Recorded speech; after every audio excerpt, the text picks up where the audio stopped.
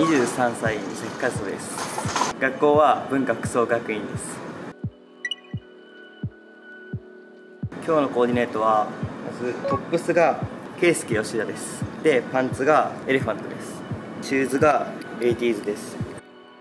で今持ってるバッグの方が台湾のセレクトショップネセンスのオリジナルアイテムになります。サングラスはゼントルモンスターです。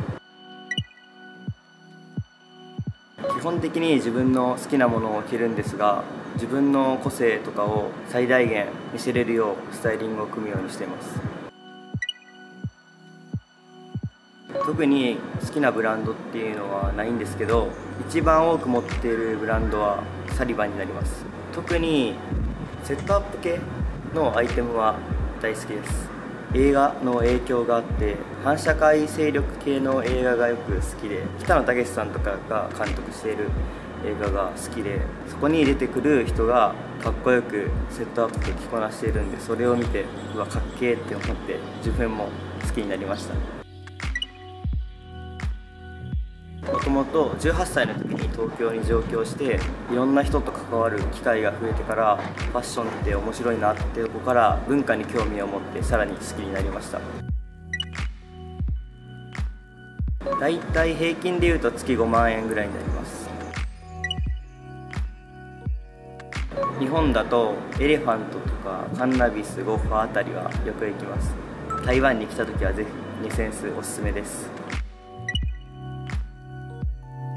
今吉祥寺で飲食店やってます。使ってる財布はギャルソンの財布なんですけど本当に高校生ぐらいの時に友達からもらってずっと使ってるんで結構黒いんですけど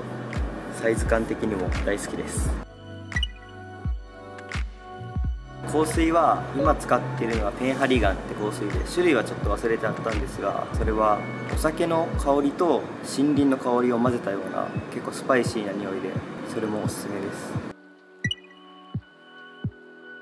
CHRISTIAN DADA のバーガンディ色のセットアップは特に気に入っているアイテムです。最近は特にアジアのブランドを見ていて中国のジェル・ジェンちょっと呼び方忘れちゃったんですがあと韓国の Post Archive Faction はかっこいいなと思ってます。趣味はよく旅行に行きます。おすすめの場所は香川県でもともと僕地元が香川なんですが香川は島とかがいっぱいあって美術館が多くていろんな人の作品を本当に肌で感じれる場所だと思っています。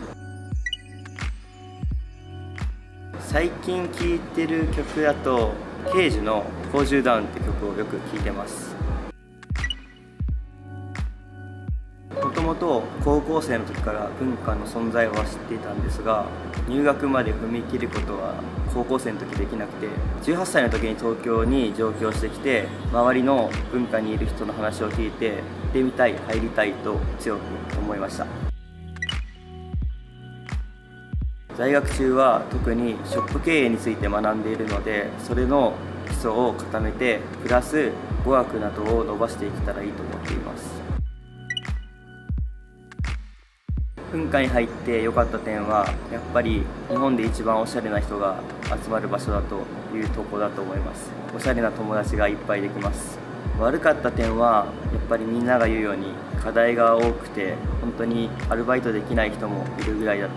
いうところです。入学前から自分のオリジナルのセレクトショップを立ち上げたいと思っていてそのためにショップ経営を学びたいと考えてそのリテールプランニングコースを選びました。良かった点は1年間を通してリテントという大きな行事が文化祭の時にあってそのために1年間頑張るんですけど1から10まで全てをショップ経営について全てを学べるのでそれが良かった点です。自分が18歳までに見てきた景色とまるで違う世界を見れるところです。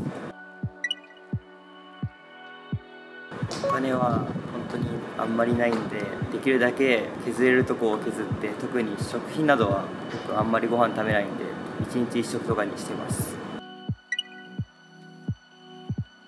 流通科だと1年の時に大体1つの課題やるのに多分記事代とか合わせて2万ぐらいあれば足りると思います。休日はよく買い物に行ったり連休重なれば割と旅行とかに行きます。影響を受けたものは物っていうより人なんですけどやっぱり18歳の時に上京してきていろんなセレクトショップとかを回ってその時に仲良くなった店員さんとかからいろんな話を聞いたりそのセレクトショップのものを実際に買って着てみてそれが今の自分につながったと思います。将来の夢は地元が香川県なんですけどそこに日本で一番かっこいいセレクトショップを作ることです。文化は結構課題とかで大変っていうイメージはあると思うんですがそれ以上に友達とかつながりがやっぱり大きいと思うんでぜひ入学してかっこいい友達いっぱい作ってください。好きな食べ物はカレーライスです。